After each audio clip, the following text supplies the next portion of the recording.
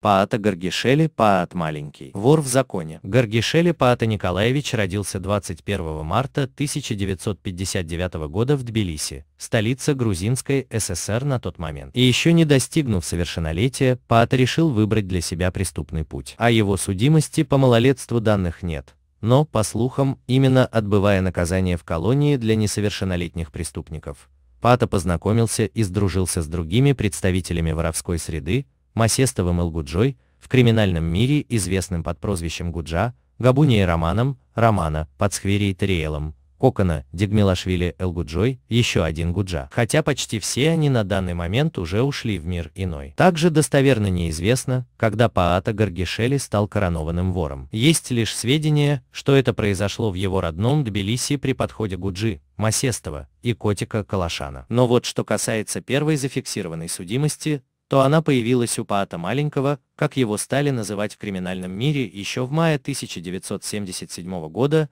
то есть когда ему только исполнилось 18 лет. Двилийский суд приговорил его тогда к одному году тюремного срока за умышленное нанесение тяжкого телесного повреждения. Новый год жизни, новая судимость Паата. Уже в следующем году Гаргишели снова оказался на скамье подсудимых, и в этот раз обвинения против него были намного серьезнее. В их числе была не только кража, но и разбой, и незаконное владение оружием. И в этот раз суд города Тбилиси осудил Паату на целых 9 лет. А в июле 1984 года Паат маленький оказался в Тбилисском СИЗО-1, поскольку был задержан грузинскими правоохранителями во время попытки угона транспортного средства. Лишь в октябре 1986 года Первомайский райсуд города Тбилиси вынес вердикт по данному делу, приговорив Гаргишели к 4 годам. Срок судимости истекал в июле 1988 года, однако уже в феврале 1986 года суд города Мцхета приплюсовал к нему еще три года тюремного режима. Отбывать наказание Паата отправился в Челябинскую область, в тюрьму СТ-2 города Златоуста. Кстати, вместе с ним туда же был этапирован карлик Нос, Аракелов, которому дали только два года тюремного заключения. И вообще в тот период Златоустовская тюрьма была временным пристанищем для таких воров, как Ваза, Амоев, Серый Бакинский, Кукунин, Коля Казачонок, Ряк, Загороднев, Самаха, Самойлов, Аслан Скандарбек, Гадабаршев. Но большинства из них на сегодняшний день уже нет в живых. Рутина воровской жизни. Отбыв срок, Паат маленький недолго находился на свободе, уже в 1990 году он снова был задержан в грузинской столице за кражу. Но за время свободной жизни Гаргишели успел еще и проводить в последний путь другого законника, убитого в Горьком в январе 1990 года, Тбилискво Рамзоев Амари по прозвищу Мике был застрелен другим законником Ромой Горьковским, Бедрединов Р. Похоронили жертву передела власти на Тбилисском Лоткинском кладбище. Некоторое время после ареста, в августе 1990 года Паат Маленький находился в Тбилисском СИЗО-1. Скорее всего, он вышел на свободу почти сразу после задержания за кражу, поскольку в 1991 году его снова задержали в Тбилиси. На этот раз по статье 203 часть 2 УК Грузинской ССР, но, по-видимому, и в этот раз Гаргишели не отправили за решетку или отпустили крайне досрочно. Неудачный 1993 год. А вот 1993 год оказался для Паата не настолько удачным. Его снова задержали за незаконное хранение оружия, поместив до вынесения приговора в ставшее уже родным Тбилисское СИЗО-1. Здесь же на тот момент находились Мурика, Кухалешвили, Нукзар Зистафонский, Эргемлидзе, Скотт Тбилисский, Гудушаури. В том же году Тбилисский городской суд вынес приговор по делу Гаргишели, отправив его в заточение на три года. Наказание Паат маленький отбывал уже в Тбилисской ТК-4 Резбольница. Кстати, в то время вместе с ним мотал срок другой законник по прозвищу Рома, Мцариашвили. И они оба освободились в 1996 году,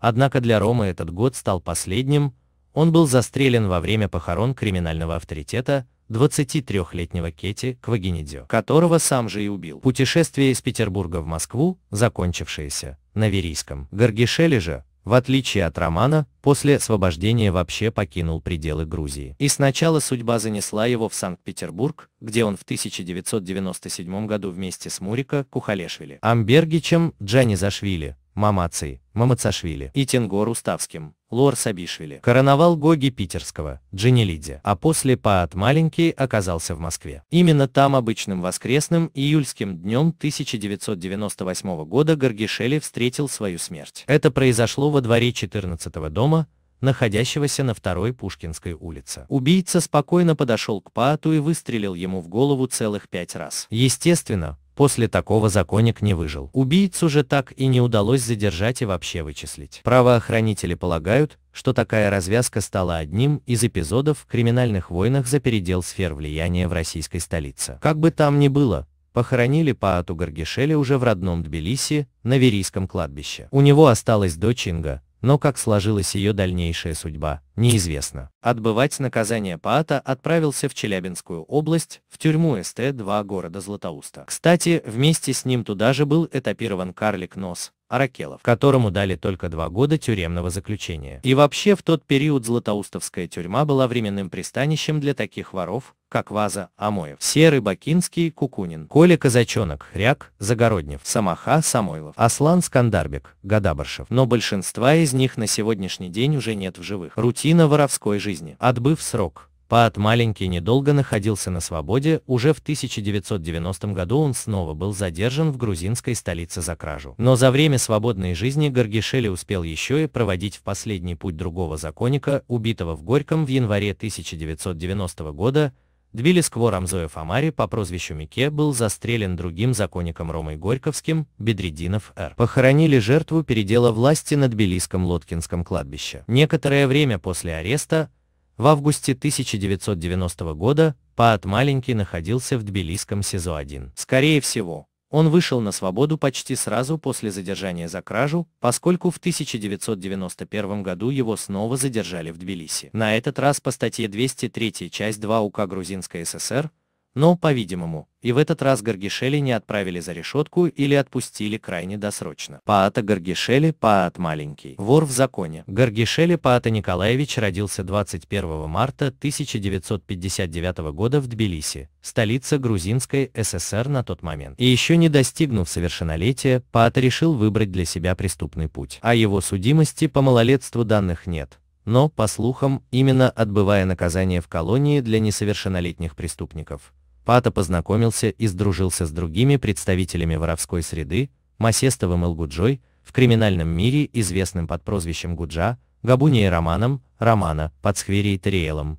Кокона, Дегмилашвили Элгуджой, еще один Гуджа. Хотя почти все они на данный момент уже ушли в мир иной. Также достоверно неизвестно, когда Паата Гаргишели стал коронованным вором. Есть лишь сведения, что это произошло в его родном Тбилиси при подходе Гуджи, Масестова и Котика Калашана. Но вот что касается первой зафиксированной судимости, то она появилась у Паата Маленького, как его стали называть в криминальном мире еще в мае 1977 года, то есть когда ему только исполнилось 18 лет. Двилийский суд приговорил его тогда к одному году тюремного срока за умышленное нанесение тяжкого телесного повреждения. Новый год жизни, новая судимость Паата. Уже в следующем году Гаргишели снова оказался на скамье подсудимых, и в этот раз обвинения против него были намного серьезнее. В их числе была не только кража, но и разбой и незаконное владение оружием. И в этот раз суд города Тбилиси осудил Паату на целых 9 лет. А в июле 1984 года Паат маленький оказался в Тбилисском СИЗО-1, поскольку был задержан грузинскими правоохранителями во время попытки угона транспортного средства. Лишь в октябре 1986 года Первомайский райсуд города Тбилиси вынес вердикт по данному делу, приговорив Гаргишели к четырем годам. Срок судимости истекал в июле 1988 года, однако уже в феврале 1986 года суд города Мцхета приплюсовал к нему еще три года тюремного режима. Именно там обычным воскресным июльским днем 1998 года Гаргишели встретил свою смерть. Это произошло во дворе 14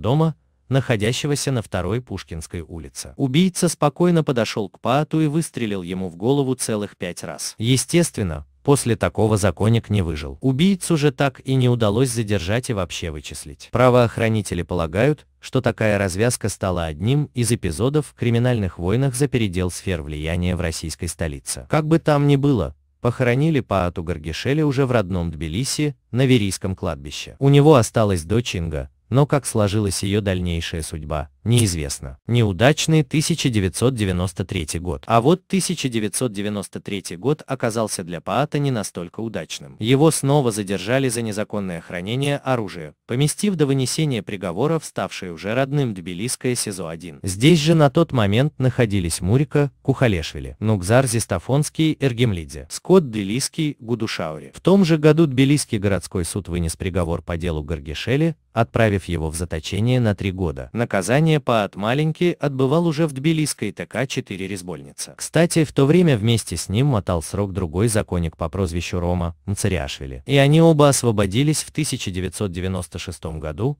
однако для Ромы этот год стал последним, он был застрелен во время похорон криминального авторитета, 23-летнего Кети Квагенидзё, которого сам же и убил. Путешествие из Петербурга в Москву, закончившееся на Верийском. Гаргишели же, в отличие от Романа, после освобождения вообще покинул пределы Грузии. И сначала судьба занесла его в Санкт-Петербург, где он в 1997 году вместе с Мурика Кухалешвили, Амбергичем Джанизашвили, Мамацей, Мамацашвили и Тенгор Уставским, Лор Сабишвили, короновал Гоги Питерского, Джинелидзе, а после Паат Маленький оказался в Москве.